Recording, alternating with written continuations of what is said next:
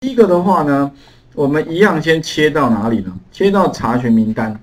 那如果我想知道说，到底这个 email 信箱有没有在黑名单里面出现的话，其实最简单的方法就是利用什么？刚刚用过的叫康 if。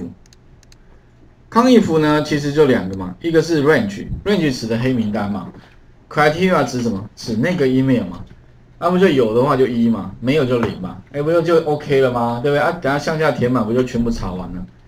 好，应该可以理解吧？啊，range 的话，第一个哦，切到黑名单，记得第一个就是说你要把那个整个范围选起来。啊，以前的选选取方法的，点住哈，向下搭，但是有两万多哎，要拉到什么时候？你要不要过头？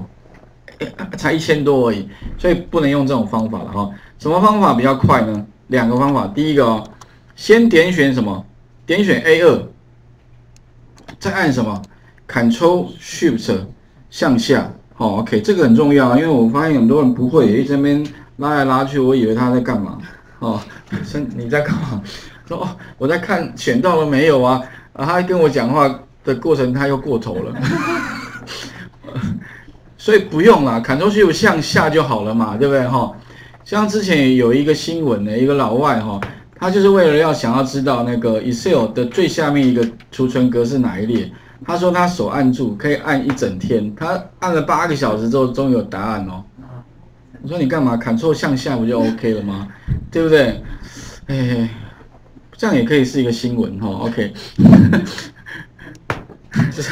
好，呃，OK，第一个了哈，那我们把它用 Ctrl 向下哦。那因为工作表名称加上这一个。那 criteria 指什么？指这个嘛？前面这个 A 二，意思就是说里面有没有？有的话呢，回来就是一，没有就零，有没有？按确定，向下填满，查完了嘛？那可是查完之后的话呢，哈，当然也是几秒钟，哎，不用一秒钟吧，一下子结果就算完。然后你就怎么样？再把那个什么呢？把一的留下来，把零的去掉。OK。不过我在讲这个之前哦，像。选取范围哈，除了你可以用什么，用那个呃选取之外，我是建议哈，你可以用第二个方法。如果范围比较大的话，我是建议你可以用第二个方法，就是说把 A 二到最下面这个范围，给它一个名称，名称叫什么叫黑名单。所以你可以怎么把黑名单这几个字复制一下，再点选 A 二，Ctrl Shift 向下，先定义一个什么？定义一个名称。啊，Ctrl Shift 向下。名称的话呢，记得哦，在它的那个呃左上角有一个小小的文文字方块，有没有？你就把名称输入上去，按个 Enter。那以后的话，哈，这个范围它的名称就叫做黑名单。那你要怎么存取？记得按 F 三，F 三有没有？就是把。黑名单给调用出来，好，那我们来看一下哦。查询名单刚刚的做法哈，也许就改一下。如果我不用选取的话，我先定义好，对不对？按 F 三，你会发现哦，哎，F 三名称帮你调用出来了。所以以后如果你有几个名称，它会列在哪里？列在清单里面。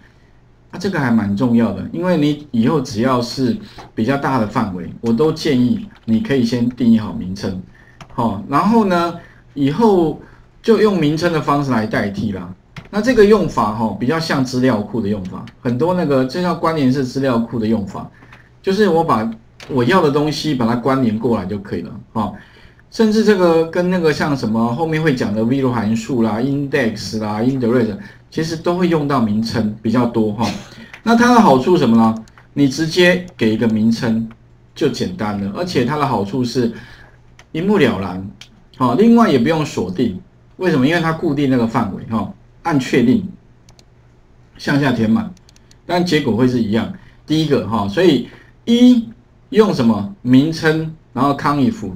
第二个的话呢，把一留下来，啊，一怎么留下来？游标放 B one，资料里面有个什么呢？筛选，筛选按下去之后的话呢，这边有个小箭头，你把。全诶，把那个什么零打勾取消，留下一就好了，按个确定。这个时候你会发现哦，哎，你的东西查出来了。那你游标放 A 二之后哦，Ctrl Shift 向下，Ctrl C，切到查询结果 A one，Ctrl V，好，你的工作结束了，有没有？所以基本上哈，我大概用了，哎，第一个康 if，第二个用什么呢？用筛选，这边有个筛选，对哈？那第三个就是全选，把它贴过去。啊，选那个 A 二以下的吧，哈。那所以呢，如果我希望怎么样，把刚刚的动作，如果我要换了，因为每天都要查嘛，一定要每天要产生一些是不是黑名单？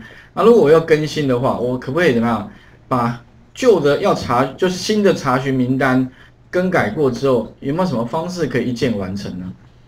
当然这里面的话方法蛮多的，也许你可以重新写一遍，要不然如果没有没有 idea 的话，哈，你干脆用录制聚集算了，有没有？所以录制聚集一，你可以怎么一样嘛哈？呃，游标确定，如果在查询名单，那你可以从这边出发。出发的话，第一个呢，你先一切到查询名单。二的话呢，哈，游标再放在 B 二，然后呢，这个公式可以先不用删掉。为什么？因为你只要什么打勾，它就会帮你把它录进去了。好，然后呢，向下填满之后，再筛选，再把资料复制贴过去。停止录制剧集，哎，那不就变成一个什么呢？一个按钮了吗？对不对？那你可以试一下，前面有讲过了，因为录制剧集有时候可以产生有些程式你不会写，但是你可以用录制的方法哦。先啊，请各位先稍微把刚刚的这个结果先试做看看，做完之后的话哈，一样啊，产生也许两个按钮吧，一个按钮是呃清除，可以把它按下去清除啊，一个是。我刚刚讲的那个聚集，好，OK，试一下哈。